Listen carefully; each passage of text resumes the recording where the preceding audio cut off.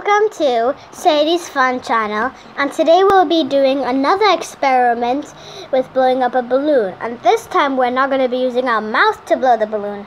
We'll be using vinegar and baking soda to blow up the balloon.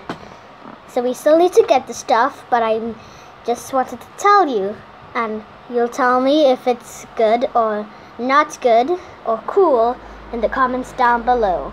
Okay? So these are the ingredients we need. We need a funnel, a balloon, vinegar, and a bottle, and baking soda. So we need to put um, the funnel in the balloon just like this.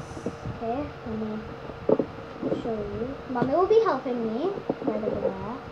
I'm trying to, okay, so that's enough. And make sure you put the baking soda in, no, in the funnel. Shake it till it goes all the way in the bottom. Yeah, I'm trying to do that. Okay, uh, this might take a while.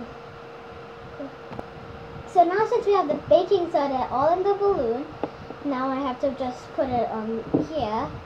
And also don't make sure to don't overfill it because then you won't have the right timing to get the air in the balloon, okay?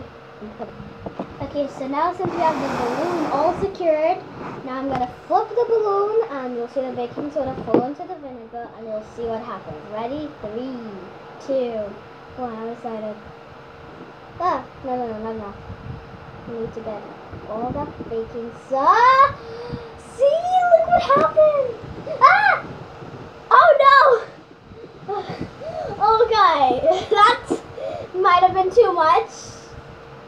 And there you go. Yay! So what happened there?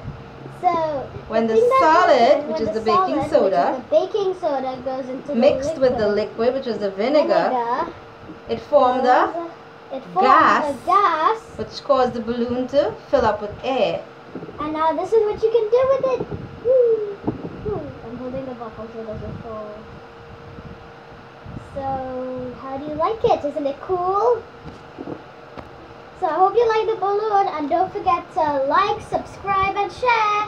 And if I can do it, you can do it too. And remember to always ask your parents for help. I have my mommy right over there. So thanks for watching. Bye!